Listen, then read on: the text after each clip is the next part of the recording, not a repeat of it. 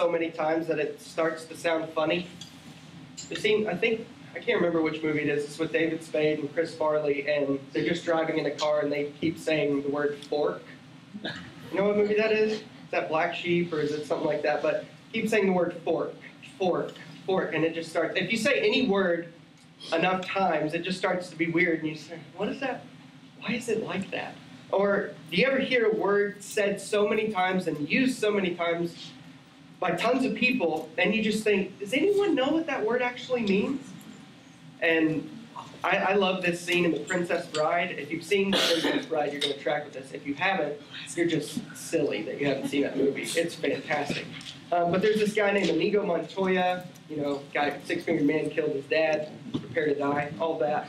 But there's this one guy that keeps saying the word inconceivable. Like every two minutes, he says the word inconceivable, and Inigo Montoya finally goes, he's a Spaniard, and he goes, you keep using that word but I don't, I don't think it means what you think it means. Because he just keeps saying, inconceivable. Because I, I don't think it means what you think it means. And honestly, I think that's, um, for the church today, I think that's what the word grace is. I think that word grace is a word that we use a ton. It's thrown around a lot in the church, in Christianity at large. But I think, like Inigo Montoya, you just kind of want to say to people, you keep saying that word, but I don't think it means what you think it means. I don't. We, we hear it used in so many different contexts. If you ask 10 different people, you will probably get 10 different definitions of what grace means. So today I'm excited to dig into the word. We're going to, this is our last week in the book of Genesis, chapter 45. So if you got a Bible or you got a phone, grab it, get there. Genesis 45, verses 1 through 15. That's our text today that the sermon will be based on. And I think this story is a vivid picture of grace.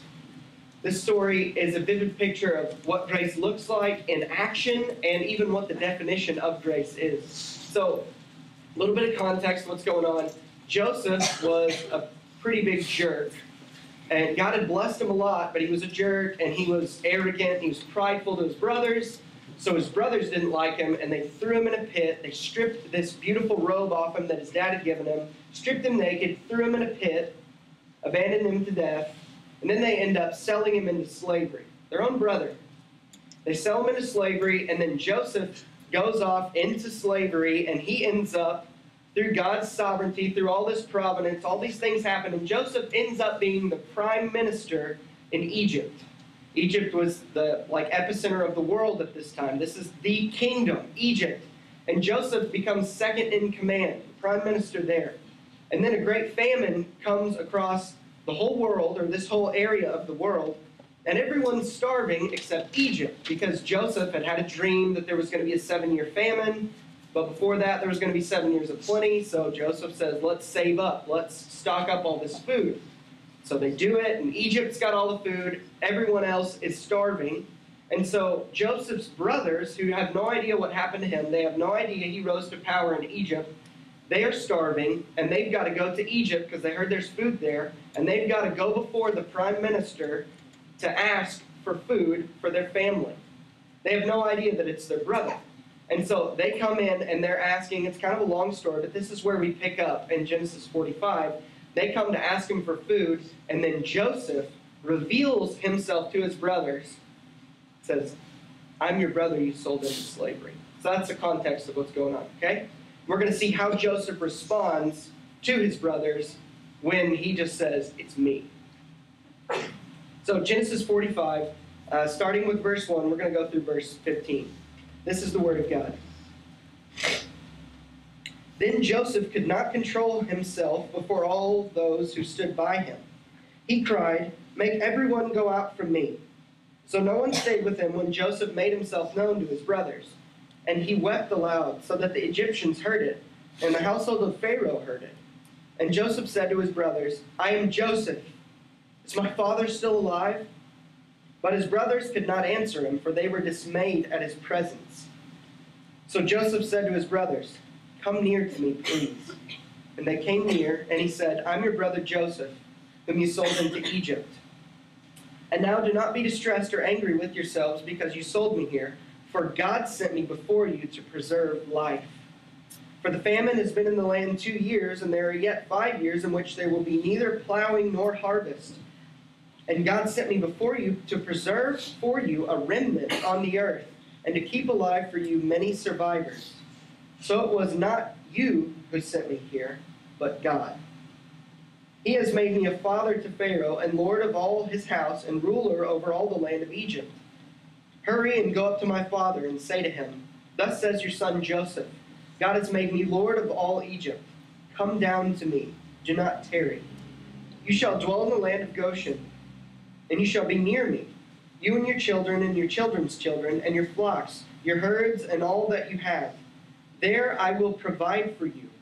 For there are yet five years of famine to come, so that you and your household and all that you have do not come to poverty.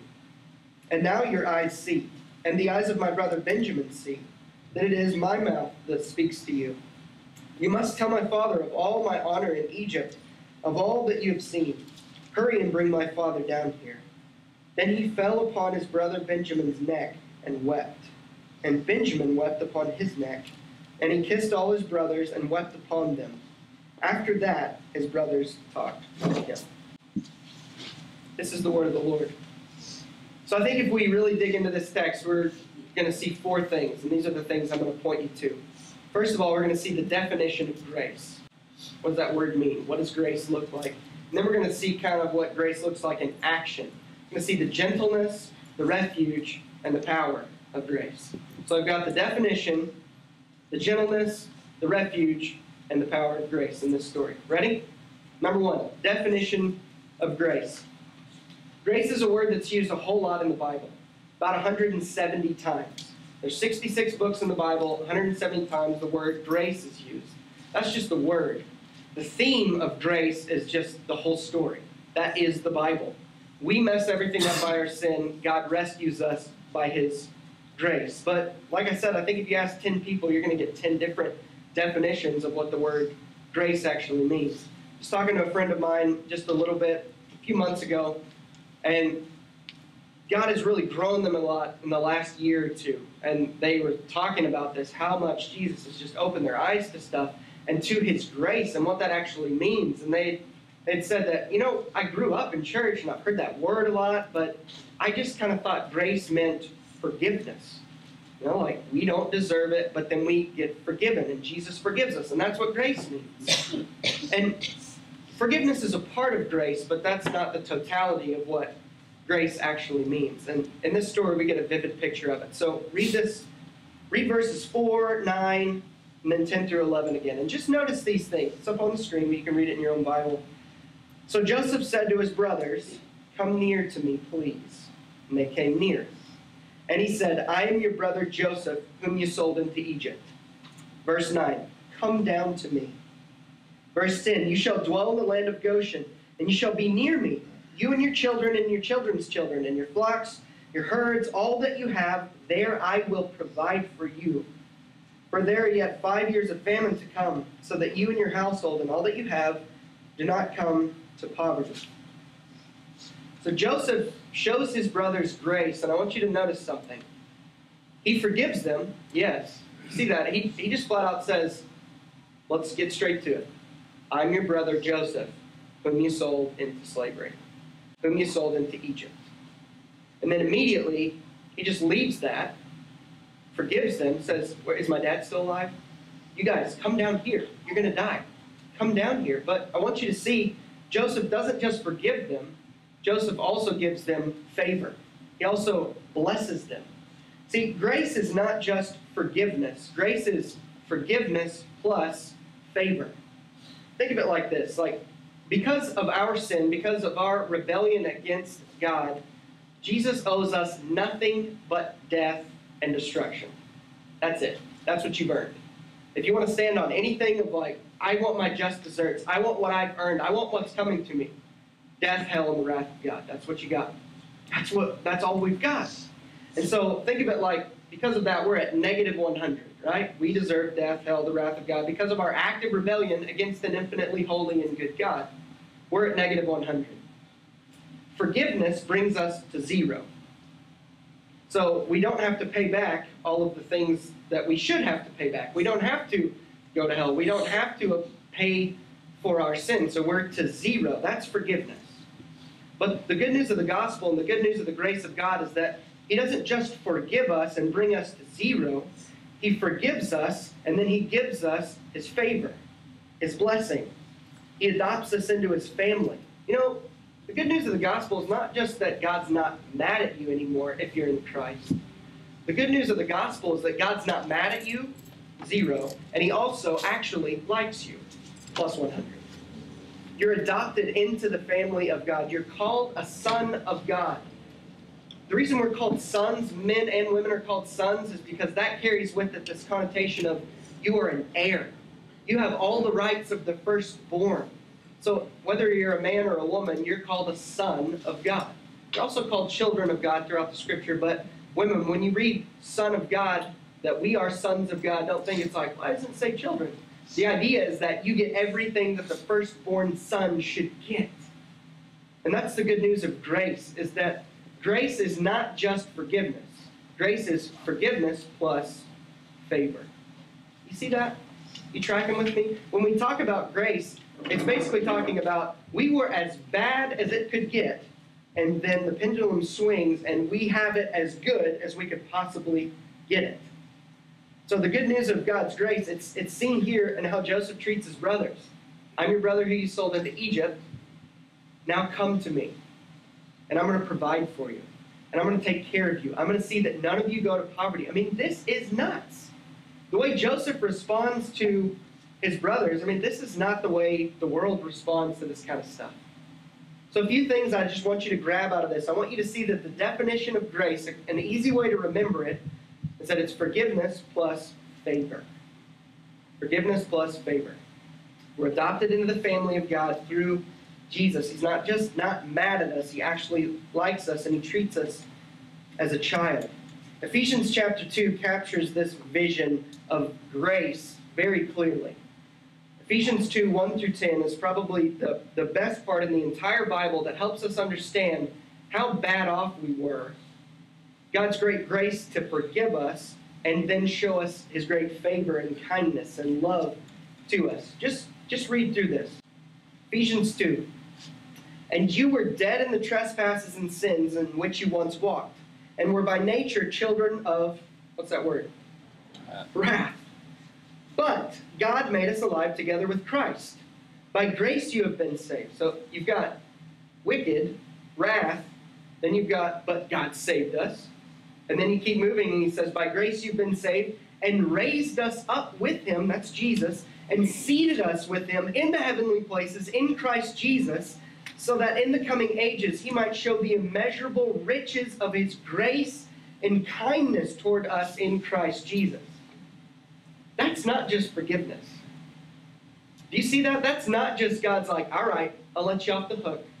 Jesus paid for your sin. You don't have to go to hell. That's a you're ransomed from where you should go. You should go to hell. You deserve that. You're ransomed from that, and I'm seating you with Jesus in the heavenly places so that in the coming ages, I mean, you see what this is saying? Paul's saying God is super pumped to show you the immeasurable riches of his kindness towards you in Jesus. That's the good news of the gospel, is that we're not just forgiven, but God actually loves us and shows his kindness to us, shows his grace to us, raises us up with Christ, and seats us as an heir of God, as a son of God, as a child of God. He treats us as sons. It's not just something that we're called, he doesn't just call us children, we actually are children. The Apostle John says that, and I think it's First John. He says, We're not just called children of God, it is what we are. It is our legal status, children of God. So I want to zero in just on this definition of grace so that we really leave here understanding what grace means and it's helpful to us. So, like I've said, it's forgiveness plus favor. Get that? We're forgiven and then we get favor. And then, secondly, grace is always free and costly. Grace is always free and costly. Was it free for Joseph to forgive and show favor to his brothers? Was that free for Joseph? Not at all. I mean, he'd been thrown into a pit, he'd been stripped naked, thrown into a pit, sold into slavery. He ends up getting power, and then he uses that to give him grace, but it wasn't just free. He had to absorb that debt. He had to not take vengeance out on his brothers. How many of you go, if my family sold me into slavery and I rose to power, I don't think I would do what Joseph did. I think if a lot of us are honest, we'd say, that would be really tough. I would not want to do that. I would want to put them in slavery and they could be my slaves and work it back. That's not what Joseph does, though. So Joseph, in a sense, absorbs that debt. He's not going to avenge himself. Then he doesn't just do that. He says, Come here. I've got money. I'm going to spend it. Come live in Goshen. That's near Egypt. He's saying, Live in this fertile land. You can live on my property. I'm going to take care of you. I'm going to provide for you. You are not going to go into poverty. See, grace is always costly for the one who gives it, but always free for the one who receives it. What did Joseph's brothers have to do to receive this grace? Nothing. They hadn't even said anything. If you look at this the story, it doesn't say until like verse 15 that they even talked to him. He says, I'm Joseph. And they're just like, uh-huh.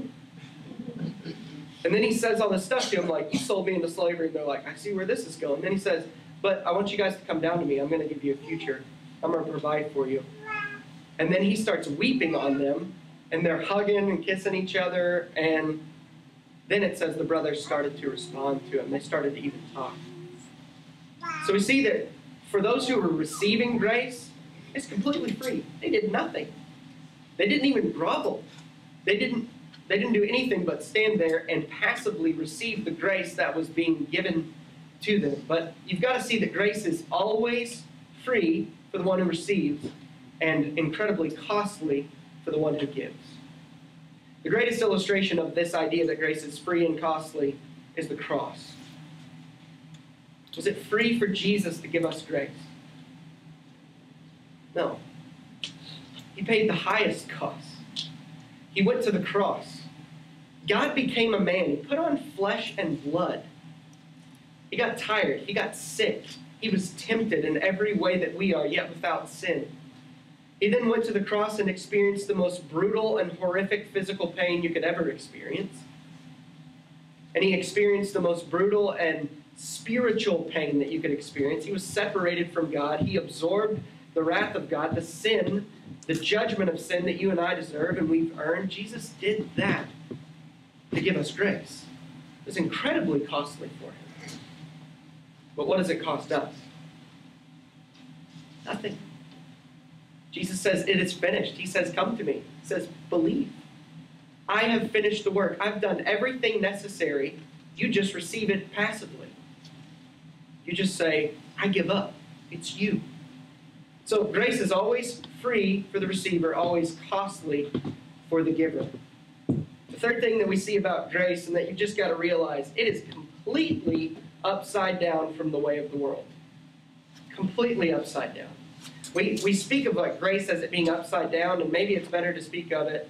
Grace is actually right side up, and the world is upside down. But for the sake of us just thinking about it, from the way of the world, grace just doesn't make sense.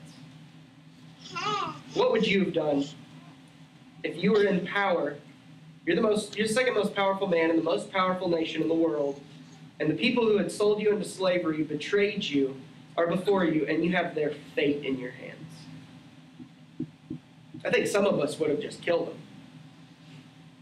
I think some of us would have thrown them into slavery, had them pay it back, and then I think some of us would have said, you know what? I'm going to forgive you. Just get out of my sight. I'm not going to kill you. I'm not going to enslave you, but get out of my sight. But Joseph doesn't just do that. He says, I want you guys to come to me. I'm going to take care of you. I'm the Lord over Egypt. And I'm going to use that authority and power to save you and deliver you. Completely upside down. And we've got to realize that this is not the way the world works. Grace is so upside down that it makes sense that grace comes from outside of this world. Grace doesn't come from here. Grace came from outside. Jesus is the face of grace. If you read John chapter 1, it says, From his fullness, from Jesus' fullness, we have all received grace upon grace. John says the Word, that's Jesus, became flesh, became a man, and dwelt among us, and tabernacled with us. And we have seen his glory, glory as of the only Son from the Father, full of grace and truth. The reason Jesus is just so counterintuitive to everything is because Jesus is grace. And the world can't handle that. The world can't handle when something like that happens. When someone actually shows someone else grace, not just forgiveness, but grace, it actually makes the headlines usually. Grace is like you borrow your friend's car and you get wasted and you wreck it, and then your friend doesn't just not make you pay it back, but he actually buys you a new car. Says you can just keep this new one. What? It's not just forgiveness, it's forgiveness plus blessing, plus status, plus favor. It does not make sense. So when we think about grace, make sure that you understand we're not just talking about, oh, I'll let you go. It's, I'll let you go, and I want to bring you near, and I'm going to take care of you forever. That's the definition of grace. The second thing that we see, we see what grace looks like in action, not just the definition, but what it looks like in action. We see the gentleness of grace in this story. Read verses 1 through 4 with me. So his brothers are there. It says, Then Joseph could not control himself before all those who stood by him. And he cried, Make everyone go out from me. So no one stayed with him when Joseph made himself known to his brothers. And he wept aloud, so that the Egyptians heard it, and the household of Pharaoh heard it. And Joseph said to his brothers, I am Joseph. Is my father still alive? But his brothers could not answer him, for they were dismayed at his presence. So Joseph said to his brothers, Come near to me, please. And they came near, and he said, I'm your brother, Joseph, whom you sold into Egypt. I imagine he whispered that to them. So Joseph has his brothers, and he's got this awesome opportunity. He's got all these Egyptians around him, all of his subjects, he's the leader. What would you do with that? Hey, everyone, check this out. These are my brothers that sold me into slavery, and I'm going to forgive them. Look, everyone, how awesome I am and how wicked they are. He couldn't, he couldn't control himself, he said, so he says, he tells everyone, leave. Everyone leave. He's so gentle with his brothers and the way that he talks to them that I imagine they probably even took a few steps back and were like, oh my gosh, it's Joseph. And he says, So he said to them, because they couldn't even talk, Come near to me, please. I am your brother Joseph, whom you sold into slavery. He doesn't come to them and say, Do you guys realize what you've done? Do you guys realize what you've put me through? You guys realize how evil you are? He just goes, It's true, you're evil. It's true, you sold me into slavery, but come near to me. Everyone else is sent away. He says, Come near to me, and he starts talking with them. There's this scene in John chapter 20. After Jesus has lived perfect, righteous life, he died on the cross for our sin, paying for our sin, paying for hell, paying for the wrath of God. And then three days later, Jesus victoriously arose from death to eternal life as our Savior, as our Lord, as King. And then he comes and reveals himself to his disciples, to his 12 apostles, who had all betrayed him. They either ran away when he got arrested, or like Peter, they denied even knowing him. Then we see that Jesus appears to them. In John 20, it says that he appeared to most of them and they were just dumbfounded. They were thunderstruck that Jesus is alive, but this guy named Thomas wasn't there. You guys have heard of Thomas, I'm sure. This guy gets a bad rap, doubting Thomas, right? Thomas is just like, is this actually true? But it says that they told Thomas, the Lord has appeared to us. Jesus is alive. And Thomas said, unless I see it, I won't believe it. So then they're all together, and it says, the room was locked, and Jesus walks through the wall. It says Jesus appeared among them. And Jesus has this moment with Thomas, and he just says, Hey, Thomas, come here. Look at my hands. Put your hand in my side. See that it's me. The way Jesus responds to Thomas and the disciples is thankfully, that's how he responds to us. The way Joseph responded to his brothers in giving them grace and being so gentle. He doesn't shy away at the fact that they're great sinners, but he doesn't come and just destroy them. He says, Yeah, I'm your brother you sold into slavery. Jesus comes to Thomas and says, Thomas, look at my hands. Look at the price. Look at the price I paid for your sin. It's me. I'm alive. I know you didn't believe it. Here's the proof. Put your hand on my side. See the high price that I paid. See how much I love you. See how much I sacrificed for you. He doesn't yell at him. He doesn't say, Thomas, you wicked unbeliever. You doubted when they told you I was alive.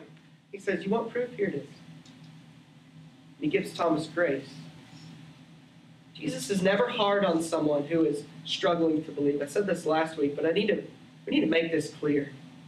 Jesus is never hard on someone who's struggling to believe, who wants to believe, who's like, I, I want to see the proof. I want to see the evidence. Why do you believe the Bible? Why do you believe Jesus is who he says he is? Jesus is never hard on any of us who are struggling to believe. Jesus is only hard on those who refuse to believe. I want you to see just how gentle grace is. Grace doesn't just come and beat us into the ground. Grace is honest, though. Says, yeah, you, you are more wicked than you ever thought. I'm your brother who you sold into slavery. This is the price of your sin. But I paid that price so I could give you grace. That's what Jesus does to us. He's gentle. He comes to us, and we're told in Romans 2 4 that it's the kindness of God that leads us to repentance kindness of God leads us to repentance. It's not the brutality of God. It's not the judgment of God. It's not the fear of God that leads us to repentance. Paul says it's the kindness. It's the yes, you are wicked. Yes, you deserve my wrath. And you'll get it unless you flee to Jesus. But look what Jesus has done. Look at my hands. Look at my side. It's true, you're that bad. It's also true that you're that loved. Come near to me, please. Imagine sitting with Jesus like Thomas. Imagine Jesus just sitting down. You're struggling to believe. You're struggling to really accept how bad you are and how much you need a Savior. And Jesus doesn't just stand up and, like, the room gets dark and he starts screaming at you. He sits down and he says, Come here. This is the price. I paid it for you. Don't shy away because you're scared of how bad you are. You are that bad. You've got to know it. But I'm this good that I'm delivering you from it. That I have done everything to bring you out of darkness into my light. That's the gentleness of grace. I think we need to really grab this and we need to realize here's something to take home with you. This means that Jesus didn't come to bloody us up. Jesus came to be bloodied up for us. Jesus didn't come to just pierce us and say, look how evil you are there and there and there and there and there. And that's it. No, he says, yeah, look how evil you really are. Look how much you need me. Look how much I'm doing for you.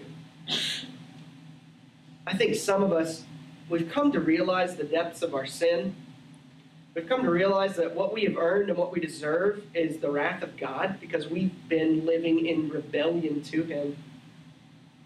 And my fear is that some of us just stay there.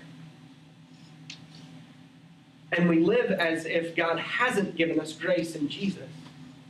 We live as if God exists just to bloody us up, to tell us how wicked we are. But Jesus didn't come to do that. Jesus says, I think it's in John 3, he says, I have not come to condemn the world. I've come to save the world. And then later in John, he says, I've come to condemn the world. You go, okay, what does that mean? I haven't come to condemn the world, I've come to save the world. And then later he says, I've come to condemn the world. Because we feel condemnation when Jesus exposes our sin, right? We feel like, I feel like he has come to condemn me because I feel condemned. What Jesus means when he says, I've not come to condemn the world, I've come to save the world, he's meaning, I haven't come to namely just bring condemnation. That's not why I've come. My coming and my teaching and my revealing that your sin is that deep, it is condemning. But I've not come to do that. I've come to show you the weight of your sin and to deliver you from your sin. John Piper gives this great illustration that's always stuck with me about this fact that it's revealed just how evil we are. And it, we're tempted to think, Jesus came to reveal how evil I am. It feels like he came to condemn me, but he said, I've come to save you. And the illustration Piper uses is, says, Imagine you're in World War II and you get your leg almost blown off. And the medic runs over to you, and you know that your leg is a mess. And you look up to the medic and you say, Have you come to cut my leg off? Says, No, I've come to save your life. But I am going to have to cut your leg off to do it. That's what Jesus means when he says, I've not come to condemn you, I've come to save you. I've not come to cut your leg off, though I am going to have to cut it off. I've come to save your life. Jesus has come and it, he reveals how evil we are, for sure. There's no getting around it. But it's in such a gentle way that Jesus hasn't come to condemn you. Jesus has come to show you that you're condemned without him and to deliver you from that condemnation. Jesus came to take the condemnation for you. And he does it in a far gentler way than any of us would. Look how he responds to Thomas. Look how Joseph responds to his brothers. That's the gentleness of grace.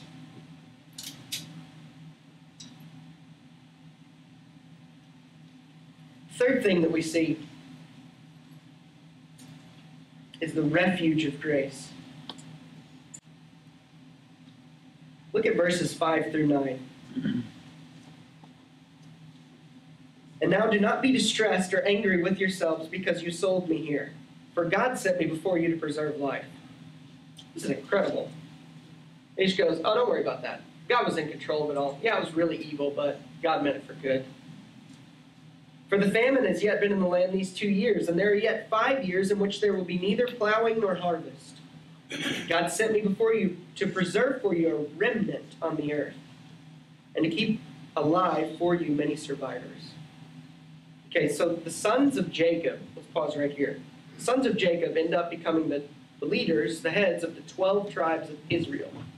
Right? And these are Joseph's brothers. So the future of God's chosen people, the Hebrews, the Israelites, the Jews, is in their fate is in the hands of Joseph.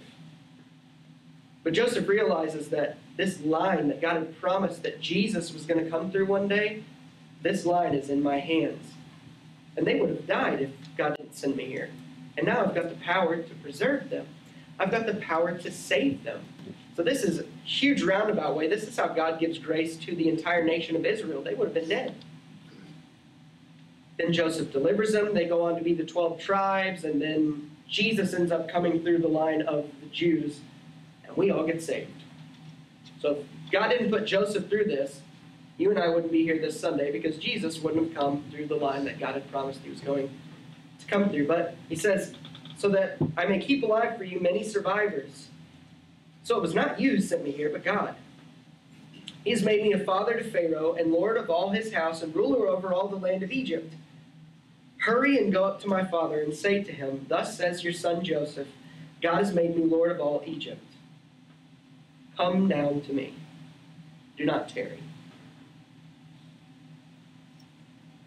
Joseph just essentially says, Come to me. Come to me. I'll give you grace. Come to me, and you will get the refuge. You will get the rest that you've been longing for. Come to me, and you'll get the refuge that you actually need. So we see the refuge of grace. It's protection. It's not just gentle in dealing with us, but when grace is in action, it's a refuge for us. Because God is the one who holds up the walls and the boundaries and the protection.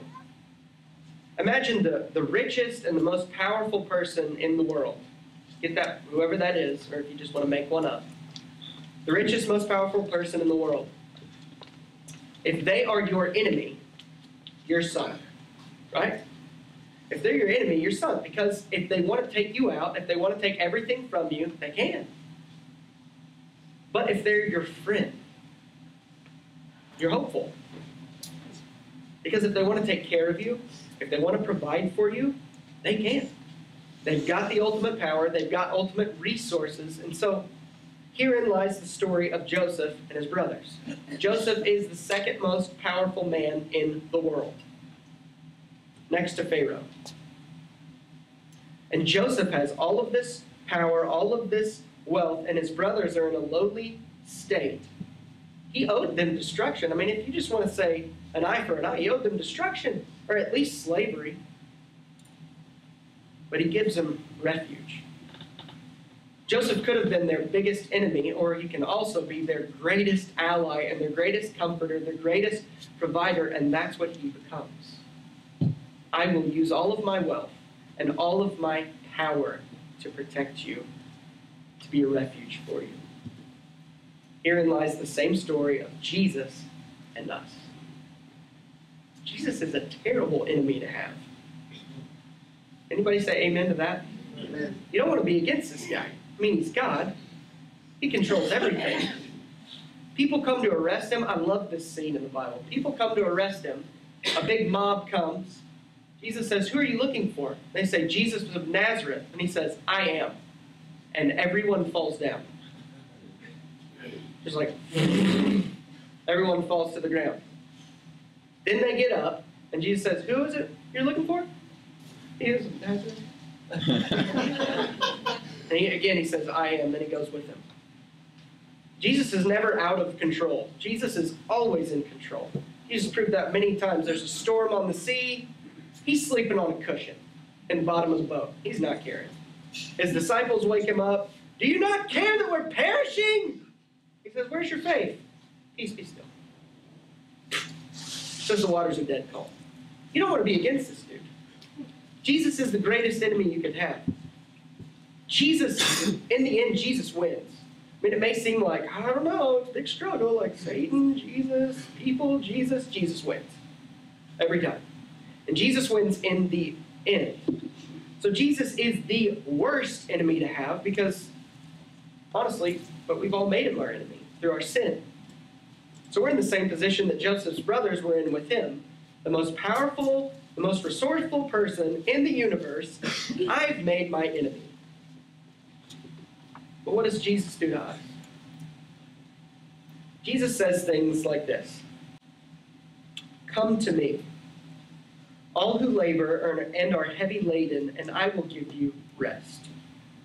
Take my yoke upon you and learn from me. For I am gentle and lowly in heart, and you will find rest for your souls. For my yoke is easy, and my burden is light. The ultimate one in the universe that we have divinely offended, that we have spit in the face of, that we have constantly said, No, I will not do it like you have said. I will do it like I want. I am king. You are not.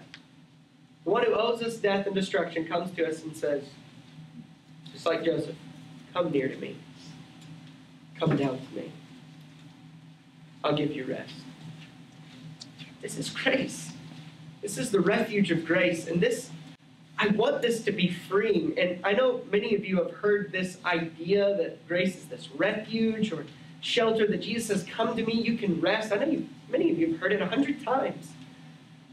But if you're anything like me, you need to hear it 101 times, and 102 times, and 103 times, and a million times.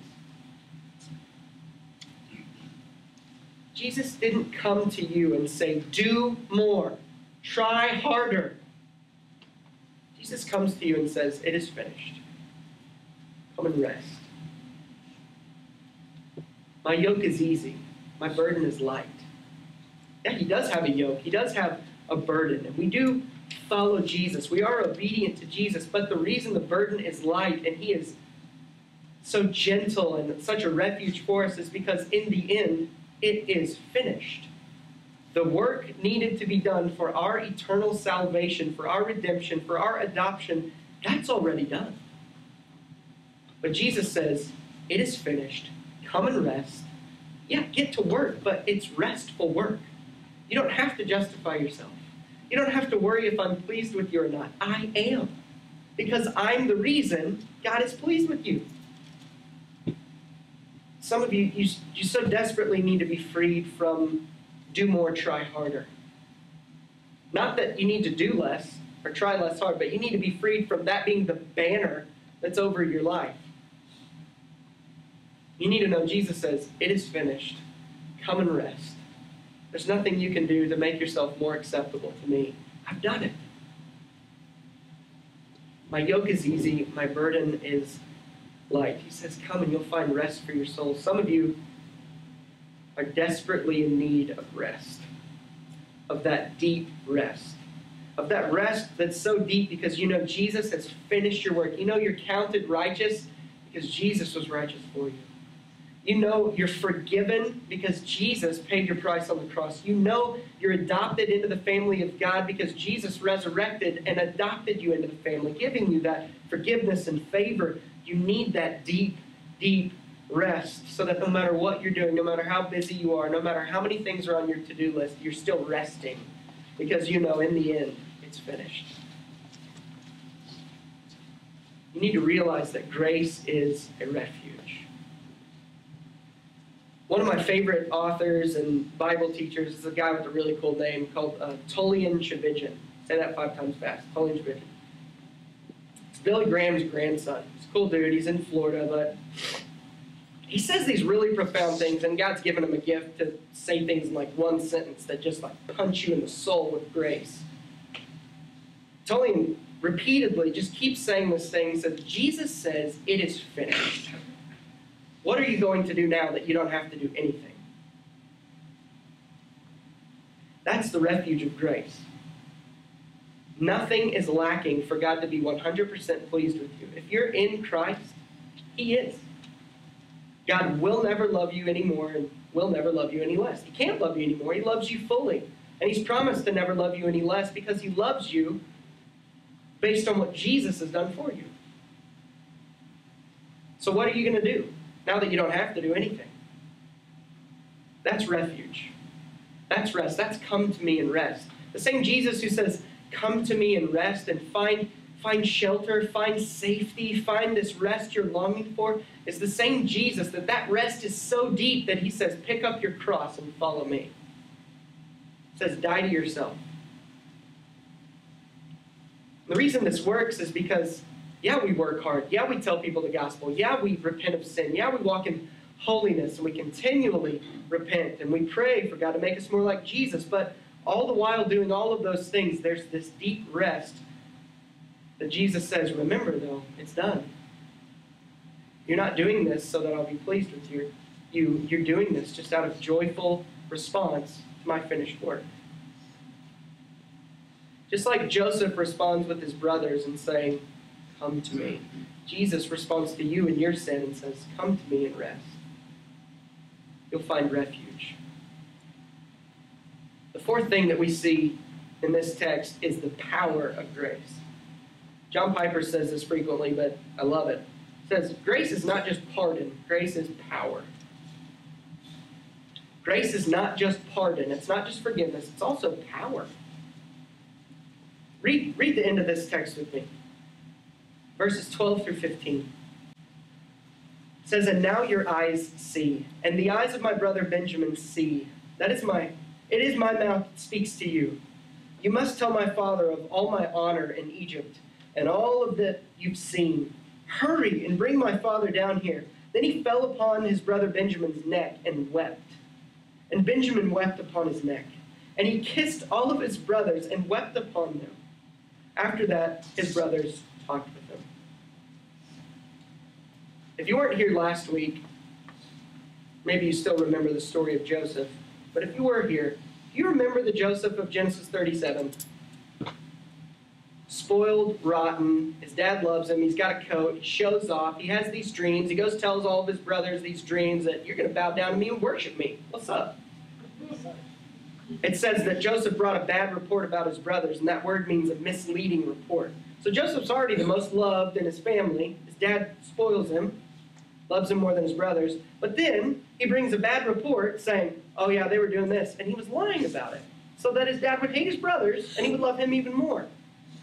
Joseph has two dreams that say that his whole family's going to bow down to him. He goes straight to his older brothers and tells them, This guy's a tool.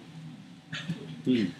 I was talking to my mom about this yesterday. I was like, Joseph was a huge tool. She was like, Well, yeah, but you were like that when you were a kid. I was like, I know.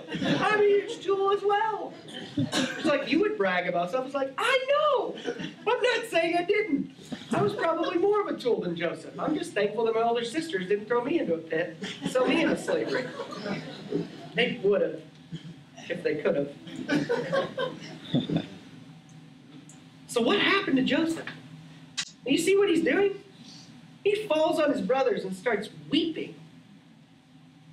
Like, he's crying tears of joy. He's celebrating. My brothers are alive. All of this stuff happened, but I'm able to save them and deliver them. And he falls on their neck. He's kissing them. They're hugging. And then they, they're finally realize, like, he really has given us grace. And they kind of take that step of, they even start talking with him. What happened to Joseph? Did God come to Joseph and say, Joseph, you are ridiculous. Everything you've got is a gift of my grace. Quit thinking that it's because you're so awesome. It's not. You're an idiot. You're wicked. You're sinful. Change.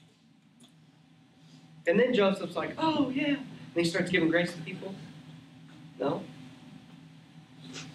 God showed Joseph grace.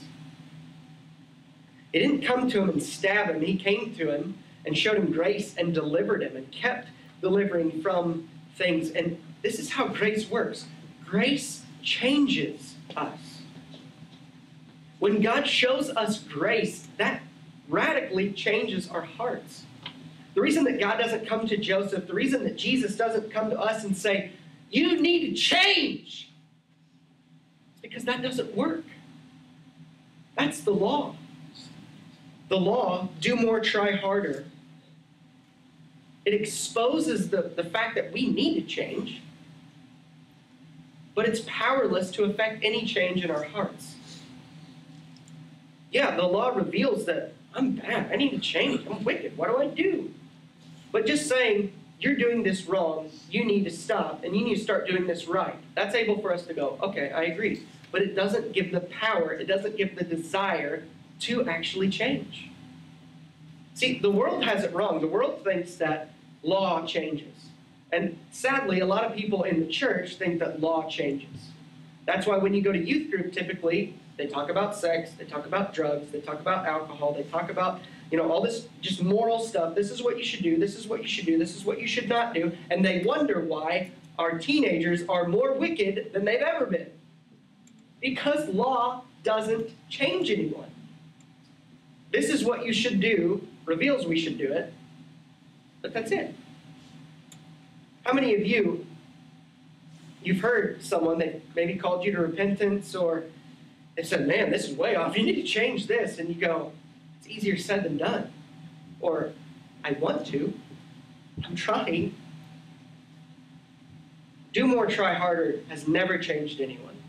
C.S. Lewis says it great. He says, Men cannot be made good by law. Can't. It's the grace of God that changes us. Grace is powerful. Look at Joseph. Joseph didn't get bloodied up and just tell, You're evil, you need to stop, you need to be good. And he goes, Yay, I'm good. No, he was radically changed in a deep level to where he starts showing grace to other people because God showed him grace. It's the same for you, and it's the same for me.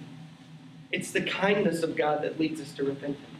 It's the grace of God that impacts us on such a deep level that we actually start desiring to change. We desire to repent. It's not the fear of God that leads to repentance, it's the kindness, it's the grace, it's seeing that it is finished. Many people in the church are scared that if you talk about the fact that If I say things to you like, it is finished, what are you going to do now that you don't have to do anything? Many pastors will be like, oh, no, no, no, no, you can't say that. They're going to go do whatever they want. It's like, yeah, you're right. They're going to go do whatever they want, and they're going to want to follow Jesus. Because Jesus, when you see his grace, you fall at his feet and say, command me. What do you want me to do? You need to know that if you want to change, you need grace. If you want to change, you need to focus more on Jesus and who he is and what he's done and how he is the only Son of the Father, that in him is grace and truth. And in his fullness, we have all received grace upon grace. The gospel changes you. The gospel will keep changing you. The good news of God's grace is what's going to change your heart on a deep level, not just looking at what you should do. If you want to change, the Sermon on the Mount is the worst place to go. Because it's going to show you this is what you should be doing. And you're going to go, all right, I'm going to do it. It doesn't work. If anything, it will change a little bit on the outside, but only the gospel is going to change you. If you want to be changed, go read the first half of the book of Ephesians that talks nothing about you other than what you've received from God by grace. That's what will change you. The Sermon on the Mount will just leave you despairing because you'll go, This is what I should be doing. And if you're honest, you go, But I'm not doing it well at all, ever. I want to, though. It didn't work. It's grace that changes Joseph, and it's grace that changes us. Only the gospel, the good news that it is finished, will change. Only when we realize we're more wicked than we ever realized, and at the same time more loved than we ever dared to hope, then will we, we start to think differently. Only then will we start to be like, I want to change. Not just I should change, but I want to. Jesus is that awesome. Jesus is that valuable. So, what do we take away from this? Number one, we take away this those who have experienced grace celebrate grace. You see Joseph, what he's doing? He's experienced the grace and he's giving grace to his brothers, and then they just start crying. How many of you have had moments like that? Some of you guys are like, I'm tough, I don't cry. Whatever, you've cried. You've had moments that are so profoundly moving, or such an experience of really how bad you are and how loved you are in Jesus, and it's just moved you to tears. There's nothing to do. It's tears of joy, and you're almost laughing as you're crying, but it's just that's what happens. That's an emotional overflow. We've had an experience, and God is being just dumping His love and grace and the reality of the gospel into our hearts, and there's nothing to do but weep. That's a celebration of grace. When we sing every Sunday and we stand up and we raise our hands and we lift our voices singing the great truths of the gospel, that's a celebration of grace. When we take the Lord's Supper weekly, remembering Jesus' body that was broken for us, his blood that was spilled for us, that's a celebration of grace. When we give financially to fuel the mission of the church, to see more people reached and more churches planted, that's a celebration of grace. When we follow Jesus and we repent of our sin and we look to Jesus and say, What does Jesus say what I should do? I'm going to do that. Not out of a do more, try harder mentality, but out of a it is finished. I want to do, since I don't have to do anything, the best thing is following Him. What does He want me to do? Walking in holiness is a celebration of grace. Being baptized after you come to faith in Jesus, that's a celebration of grace. Know, baptism is a celebration. It's not a hot tub party. It's not something weird that we put in churches and it's like, oh, people are getting dumb. Baptism is a vivid picture of Jesus' life, death, burial, and resurrection. That I believe in Jesus. Jesus has saved me. I want everyone to know, and I want to follow him in obedience and be baptized. Baptism is a celebration of grace telling the gospel to other people in your home, in your neighborhood, in your work, in your school, your family, over social media, whatever. Making the gospel known, that's a celebration of grace. And people that have experienced grace celebrate grace. We're not just thankful for it and like, oh man, yeah, I'm glad that I don't go to hell. That's cool. Let's go we celebrate. That's why we get together and sing and we all look forward and there's people that stand up here. This is weird. I mean, really? Without Jesus, this, what we do is weird.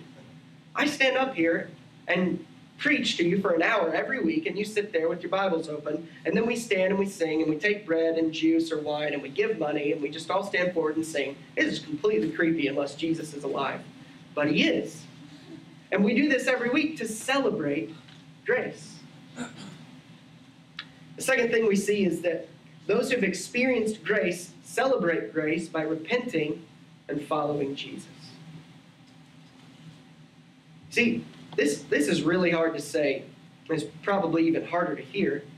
But I'm your pastor, and I love you, and you've got to deal with this stuff. If you say your faith is in Jesus, Jesus is your Savior, Jesus is your King, and you're not trying to obey Him, He's not. You're just faking it. You've got to know that.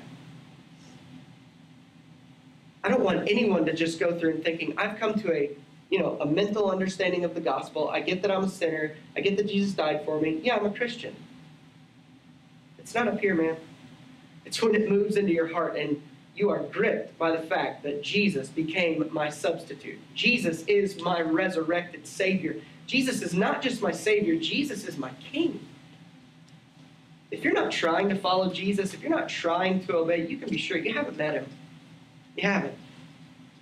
I'm not saying unless you are pristine and you've cleaned up and you've you've never sinned. No, no, no, no, no, no. But unless you're seeking to follow Jesus, can be sure that you're not following them. You're you're faking. I don't want any of you to fake it. I want all of you to think seriously, is my faith in Jesus? The evidence will be you desire to follow Jesus. And you're going to fail every day. But your desire and you're trying and you want to obey Him. It's those who experience grace celebrate it by repenting of their sin and following Jesus every day. Third thing we see is that those who experience grace celebrate grace by giving grace to others. Look at Joseph and how he responds. He gives grace to his brothers because God had given him grace. That's a way that you celebrate grace. It's to look for opportunities. Men in your marriage, look for opportunities to give your wife something she doesn't deserve. Look for those opportunities when your wife is really rude or mean or whatever, and be kind and be forgiving and do something great in return for it. That's what grace is.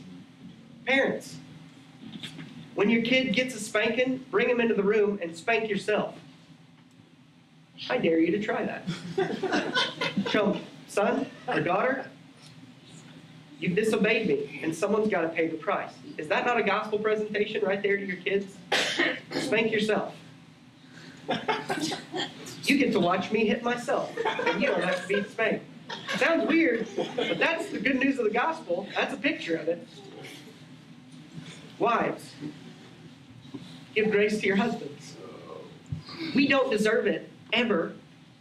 And you're going to have plenty of opportunities to give us grace because we're always going to do stupid things and inconsiderate things and rude things because we're stupid. So, wives, give grace to your husbands. Look for opportunities to not just forgive, but forgive and show favor. That will turn your relationship on, on its head. Friends, look for opportunities to show grace to your friends. Look for opportunities to show grace to the people you work with. Forgiveness plus favor. Because those of us who've experienced it, we want to celebrate it by giving it to others. This shouldn't just be something that's like, yeah, I should give grace. We should be excited about this. I can't wait to be able to give someone grace. I can't wait to, in a small way, treat someone how Jesus has treated me. I can't wait to put others before myself. This is a picture of the gospel. And if that's not a segue into telling them, you know what, this is what Jesus has done for me. I know it doesn't make sense at all. But this is what Jesus has done for me. Can I tell you about Jesus? He's really great. So those who've experienced grace celebrate grace. Those who've experienced grace celebrate grace by repenting and following Jesus and by giving grace to others. And lastly, here's the big thing with grace to receive God's grace, all you need is this need. All you need is need. All you need is to understand that you got nothing. All you need is to understand on in a deep way, on the level of your heart, that I desperately need Jesus' grace. That's what it takes. That's all you need. That kind of, Tim Keller says this really well. He says, that kind of spiritual humility is really hard to come by. That's why so many people reject the gospel.